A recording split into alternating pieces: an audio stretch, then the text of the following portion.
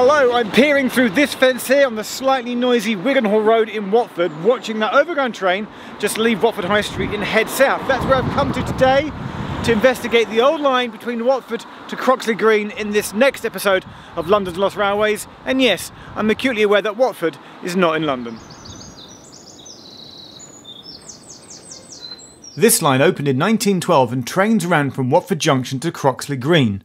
On the branch there was initially one intermediate station, Watford West, but the line never attracted that many passengers and really struggled to compete when the Underground also opened its nearby branch of the Metropolitan line in 1925. A new station was built later though, Watford Stadium, to serve those coming to football matches, as we'll see later. The line's demise, though, came about when a new road was built in 1996, with a section of the line being demolished and a temporary replacement bus service was put in place but temporary became permanent, and in the early 2000s the line simply fell into decay and it's been entirely disused ever since. Watford is in Hertfordshire, but the London Underground does serve this area, and an extension of the tube known as the Croxley Link almost happened recently. We'll discuss that more later too. So by the junction near Cardiff Road is this bridge. And if you look down, the overground tracks curve off to the right, they're heading south. But the branch to Croxley went off to the left and under the bridge. Let's go and find the three stations that it called at. So walking the back streets of Watford, we'll go and try and find the three abandoned stations that there are. I've actually got some footage back from 2015 uh, when I was here before when they were clearing the line in preparation for the Metropolitan Line extension which then never happened, which we will touch on later. So it'll be interesting to compare what it was like then with what it's like now. And also, because this is a bonus episode, we're having a little bit of fun. Uh, I've got my London's Lost Railways bingo sheet, which you can download. We haven't had a video yet where you've been able to call Full House. Grab a copy of the bingo sheet and see if you can tick off all of the words on it when I say them at any point in the video. It's just a bit of fun that you can play along with this video and all the other previous videos in the series. Walk past Watford Football Club Stadium, this is Vicarage Road. We're heading to the abandoned station here that was built as late as 1982. That's because it was only constructed when Watford got promoted to the top division, and there would be an increased number of fans travelling here. And so the station was only ever open on match days. I can see the hump in the road ahead, which to me means road going over a railway. And as I approach, oh, this is good. I can already see this platform there's tracks, there's old lights, it's still all there. The platforms are still there, the tracks are still there, even the red painted network southeast coloured lampposts are all still there. It's a little overgrown, but certainly not as much as I expected. You can simply peek over the edge of a bridge for an excellent view. And if you look over the other side of the bridge, the alignment is even more clearly visible. It looks actually as if someone is maintaining it to stop it from being overgrown. The next station is on Tolpits Lane, there's another bridge here where the road goes over the railway at what was Watford West Station. Are there any remains here, or is there nothing left to see? Well, you can peer through the fence that was once the entrance and all the steps are all overgrown, but the view from the bridge shows the platform still in place down below.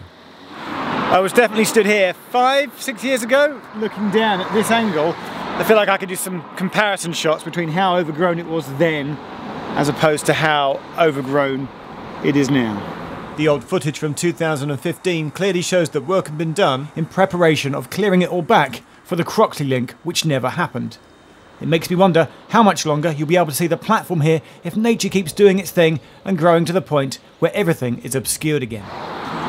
And if you look west from Watford West, you can see straight down the track track still there, irons down there, slightly overgrown, and in the distance is the bridges and rivers and Croxley Green, which we'll get to in a minute. Before then, I actually found online and printed out an old Watford Junction to Croxley Green timetable uh, to give you an idea of what the service was like. This was from the 1980s and there were just one, two, three, six trains in the morning uh, and then uh, six trains in the evening. So it was a peak hour service.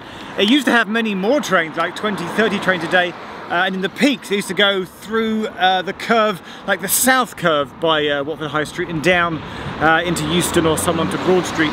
And then in the 90s, before it was withdrawn, I think there was just like one train a day, like one in the morning peak to take you to Watford Junction and change, and then one in the evening. So it was really sparse, and then, then they reduced it down to a bus service. At Ascot Road, There's very much a bridge still in place that the trains used to rumble across over on. But right next to that is a dual carriageway.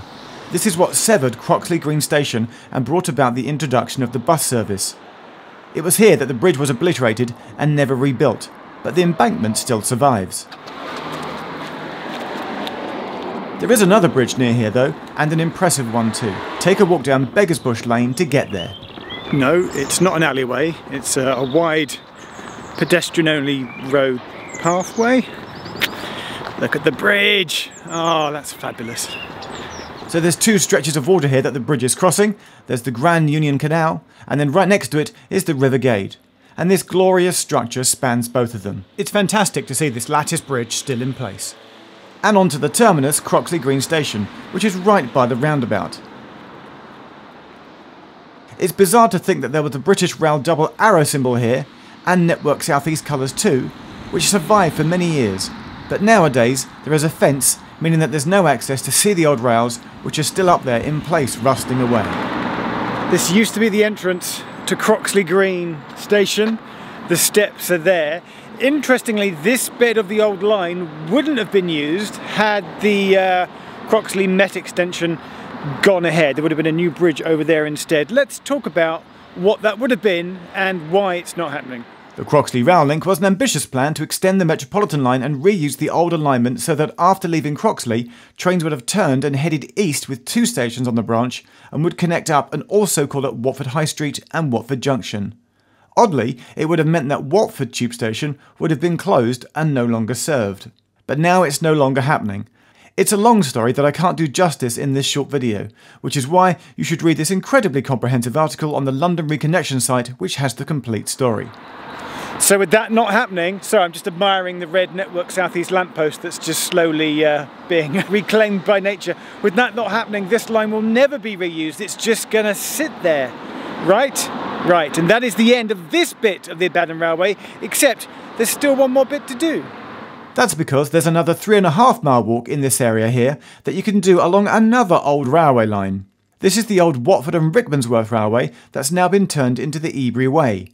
This line opened in 1862 and closed in 1952 and is a lovely walk that you can now take. And this is it, I'm on it now. This is the Ebury Way. It's part of the National Cycle Network. It's just a track, it's a path. There's not loads to see, but I couldn't come to Watford and not do it. There are just a couple of quick things, though, I can point out. There's this bridge on Tolpits Lane. Yes, the same road we saw earlier at Watford West Station. And this bridge, which I love, where it crosses the River Colne. And as you near the centre of Watford, you can see some old bridges, followed by something that really amused me the brand new Tom Sawyer Way. That's a new road that opened in 2016 with a bridge over the old alignment where it was expected to go over the Metropolitan line and the new Croxley link, which now isn't happening. So they've built a modern day bridge over nothing. All right, I've come to the end of Ebury Way. I'm sat in Riverside Park. Lovely day. Sun is now out. That's just a quick look at that old abandoned line. If you're ever in the Watford area, come and walk that too as well. It's lovely. We didn't see any trains, but we could hear some, like the rumble of the Met line in the distance, like a ghost train. That was fantastic. Uh, so that is the end of this episode of London's Lost Railway. Still aware that Watford's not in London. Uh, click uh, on the playlist, watch all the other episodes, press subscribe, all that good stuff. And it's just occurred to me that in the whole of this episode, we didn't see a single allotment. I'm, I must have missed one. You must have done. We didn't see a single allotment. Allotments? We didn't see a single allotment. Allotments? Allotments? We didn't see a single allotment. a single allotment. He said it. Bello, Geoff said allotment. That's all of them. Bingo. A single allotment. Allotment!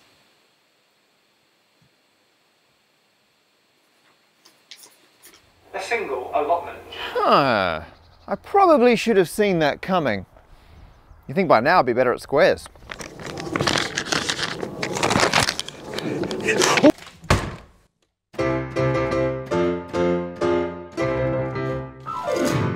We didn't see a single allotment.